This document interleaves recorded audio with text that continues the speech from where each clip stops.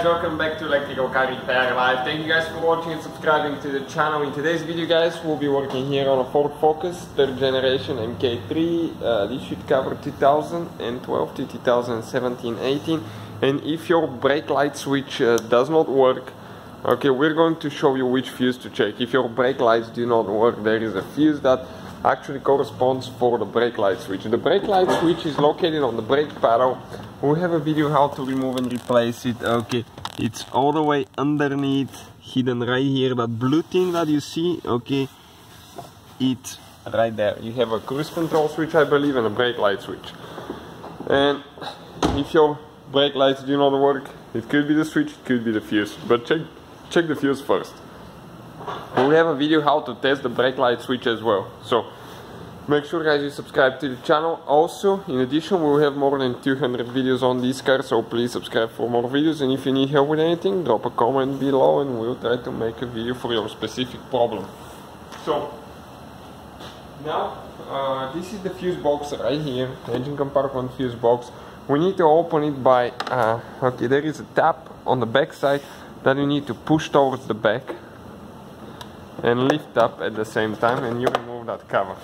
This is the tap right here. On the back side you can find the numbers of the fuses and in our case we need to locate fuse number 21. Okay, right here F21.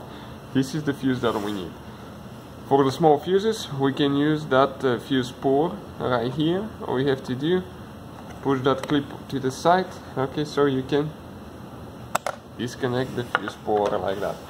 Now in our case F21 this one will be the second fuse in this row from top to bottom and it's in our case 5M fuse.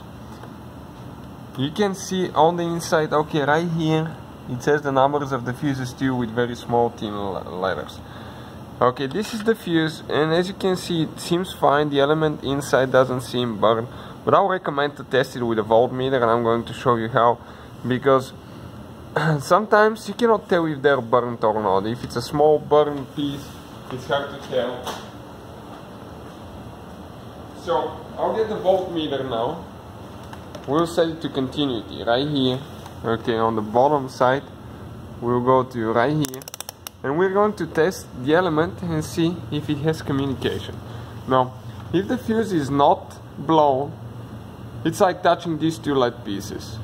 You have connection will go down to zero. If it's blown, it's going to show one. So check it out now. One terminal on one pole, the other one on the other one. Our fuse is good, guys.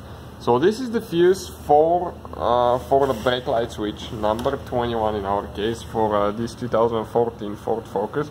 So when you're ready to install it, just push it in, Okay, make sure you put everything uh, back together in reverse order we took it apart and see you guys next time. Thank you for watching us.